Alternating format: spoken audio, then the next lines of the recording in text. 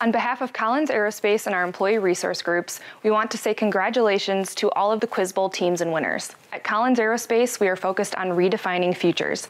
That means making investments and giving back to the communities where our people live and work.